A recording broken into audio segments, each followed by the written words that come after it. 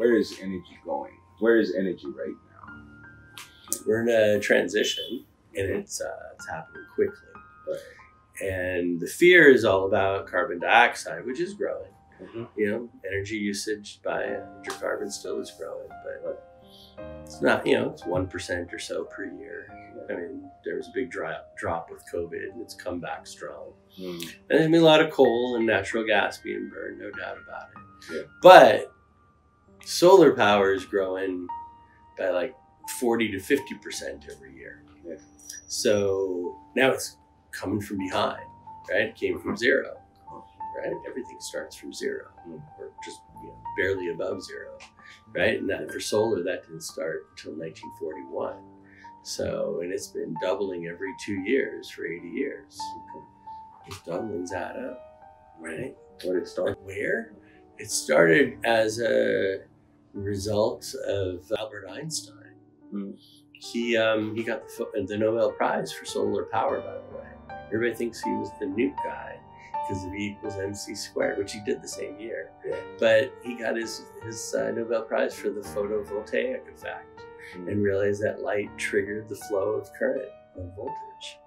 And uh, that was his discovery.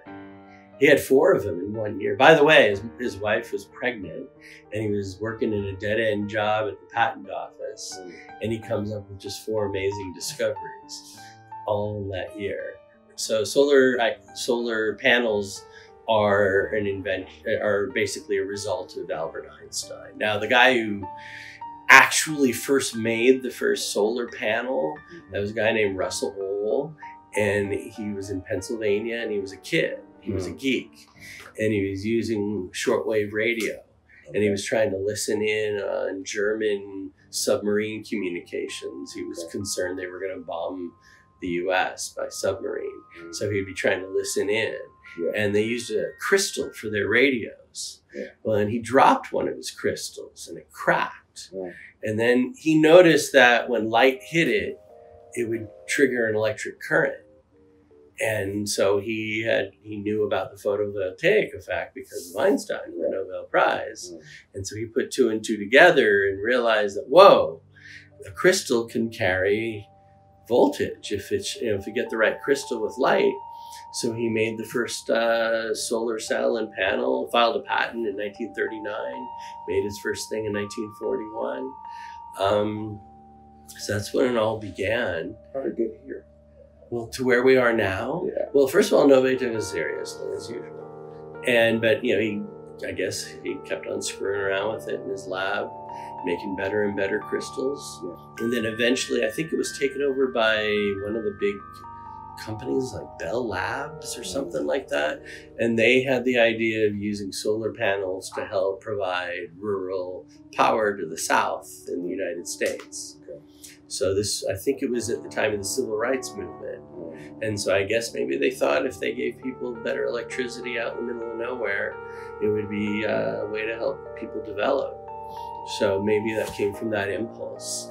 I know the main usage, though, where it really broke open was when uh, the US and the Soviet Union were in the space race. Mm. And they're spying on each other and spying on the planet, right? Right. From, from outer space. That's what it was all about. Having spy cameras, you know, that's what the satellites were for. Sputnik was the Russian one, and the Americas was Vanguard. Okay. So in the end, the Americans outlasted the Russians Mm. because not only did they have batteries, but they had solar panels. Wow. So the solar panels kept the batteries charged up. And it was a it was a former Nazi who was the one who pushed solar at NASA. To put to put uh, solar panels on the satellites. So that's kind of an interesting, weird fact. Solar came to Africa, I believe, from what I understand, Mm. um, around the seventies. Okay. So it was hap- it was spreading worldwide in a lot of different ways. Mm. Maybe even the '60s. I could let's talk about the '60s. There was they were uh, it continued to be used as a spy tool. Uh, the CIA uh, put fake trees in Vietnam along the Ho Chi Minh Trail, Mm. and on the tops of the trees were solar panels, and that could power their listening devices, so they could spy on their the communists.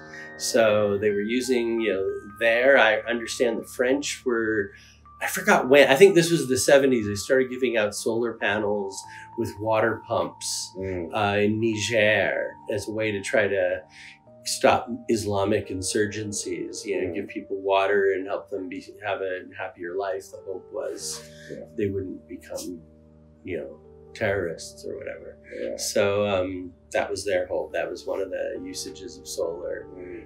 Um, and then the other thing was the oil companies became the biggest customers of solar panels. In fact, they became the biggest solar companies. So four of the top seven oil companies had solar divisions. Mm. And why, you may ask? Oil companies are supposed to be the enemies of solar power would uh, would become the top producers of solar panels. It makes no sense Right. on the surface. Mm. But here's the reality they were pumping oil from offshore. Okay, so they got these drilling platforms offshore. Now, if you don't want your drilling platform to get hit accidentally by a ship in the middle of the night. You're going to want your lights on. Mm. So these drilling platforms are lit up like Christmas Day. And but where does that power come from? Giant batteries. And so changing the batteries at these oil platforms is just the major deal Mm. because you know you can't be running a, a, a- an engine there and risk blowing up the whole place, right? You got crude oil, so you want you know ideally you're lighting it up with batteries. So, anyways, they eventually put solar panels on the oil rigs, Mm. And then the other wild thing they needed it for was for the pipelines Mm. because pipes rust, Mm. and the way to stop rust is to run a little bit of electric current in it. Just a tiny bit of electricity stops rusting, right? So they call it cathodic effect, cathode, right? Cathodic. So they would attach solar panels every several miles, I guess, to give enough electricity to prevent rust from building up on the transcontinental pipelines that they ran across the US and Canada to Alaska. Everywhere they put solar panels. Mm. So that's kind of an interesting thing. So it's just a paradox that here it is, you know, inter-imperialist rivalry, greed, war, imperialism. You know, they're basically having to move to solar so that they can, you know, spy on each other. And then giant oil companies, so they can be forever sucking oil from wherever they can and moving it wherever they need to. They needed solar too. And um, so it's like the old system always brings the new one into existence. That's the important lesson there.